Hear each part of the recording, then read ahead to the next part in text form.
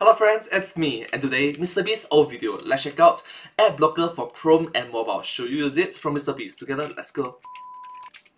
So I'm pretty sure you're not dyslexic and already read the title and you know exactly what this video is about. And I'm gonna try not to make this your stereotypical, oh ad blocker's bad, you're killing the internet, you're hurting content creators, yada yada video. I'm gonna try to provide you with a bunch of information and knowledge and just, you know, let you come up with your own opinion. Thank you. And one of the Thank first you. things I want to Thank you mention so in this video is ad blocker is in fact legal. They're taken to court in Germany and the judge determined that it's the viewer's right to determine what they want to see on their page. If they don't want an ad, they have a right to block it. They won the lawsuit and obviously because of the rule of precedent, if one court determines that it's legal, then other companies can't take them to court over the same matter. So pretty much ad blocker is legal and I don't think many people actually knew about that lawsuit, but it is legal and I thought I'd start off with that. So once it was deemed legal, one of the first things Google did was they paid them $887 million to be exempt from ad blocker because obviously Google makes $6 billion annually from ads. So they paid, you know, just under a billion dollars to be exempt from ad blocker. They didn't want that to make a dent in their earnings. And that is, that is insane. You know, if Google's willing to toss out that much money, I know they're rich, but that's still a lot of money, then this is a big deal. And that shows you the concern a lot of businesses should have because it really is cutting a lot of um, businesses' earnings down by a lot. And you know, the reason the internet's so great is because content is free, and the reason the content is free is because of ads for most websites. Now, some of you may not realize how big of an impact ad blocker actually has. In 2014, there were 140 million people that used ad blocker daily, 140 million active ad blocker users, and on top of that, 50% of people between the age of 18 and 29 said in a poll that they use ad blocker. And to be But honest, having said that, please to recognize that he mentioned 2014. Right now it's 2024. 10 years. A decade passed.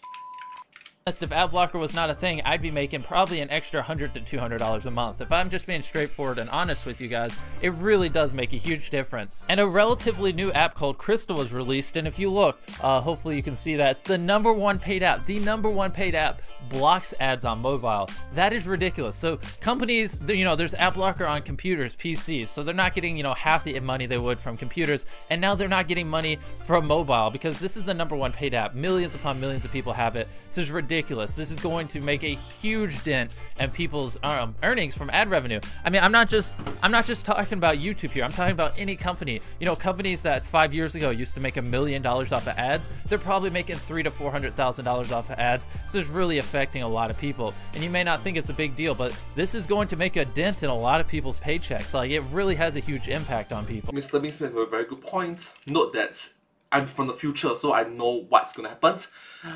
Apocalypse. And I hate to be super negative like this, but you know, 100 million plus people are blocking ads on PC. On top of that, the highest paid app is an ad blocker on mobile, and millions of people are blocking ads on that. Where it's really just putting a lot of people out of jobs. You know, people make a living off this type of stuff, and by blocking it just so it's more convenient for us, we're really screwing over a lot of people. If we're just being honest, I know that's not what you want to hear. I know ad blocker is convenient, it'll make your page load faster and all, but it, it really just it affects people's jobs. It's putting people out of jobs if we're just being frank. Now, obviously, because I'm a content creator, I'm going to be against ad blocker, but I am going to shed some light on it. And uh, it says if you have this the ad blocker for mobile, Crystal, that your uh, Safari pages will load four times faster, and you'll save 50% on your data plan. And myself personally, I search stuff in my car all the time, and if this saves me 50% on my data plan, I mean, I might even consider paying that dollar for it because I just I don't know like it, it sucks that it blocks ads and that it hurts people's income, but at the same time, you're saving 50 Background? Pia! on your data plan according to this. And we all know people lie. It's probably like only 30 or 40%. And then it'll also make your pages load four times faster. So like, I'm not gonna sit here and condescend to you if you use ad blocker. I understand why you use it. And as long as it's a thing, hundreds of millions of people are gonna use it. I'm just saying, you know, maybe whitelist YouTube or maybe I just, you know, a person you really enjoy on YouTube, watch a couple ads, do something. I don't know ad blocker sucks okay I, it sucks and i understand why people use it. I understand why it's a thing. And as long as it is a thing people are going to use it which is why it's just really controversial and no one knows where the line is to stop. And uh, one of the things that's actually interesting about ad blocker is when they first released uh, their you know add-on for google chrome they actually did an ad campaign to get awareness of ad blocker out there. So it's funny how they block ads but to get their name out there they actually bought you know an ad campaign on google and paid money to have ads to get their ad blocker out there. Isn't that ironic? Um, you, you'd wonder too why Google would ever advertise that. How Google would advertise something that would end up costing them $887 million. It's pretty ridiculous, but that's the video. Obviously, like I said, I'm a content creator. I'm against ad blocker, but I understand why you use it. And um, I don't use it, but I, I completely understand why you do use it. You know, if, if there's no way to stop it or put an end to it, people are always going to use it, and it's just a fact. So that's pretty much the video, and meth equals death.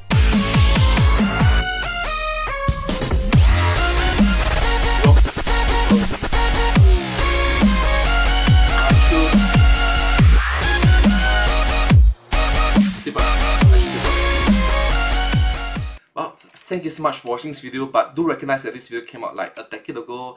Around there, uh, things have changed a lot. Thank you so much. Hope you enjoyed this video. Subscribe. Thank you.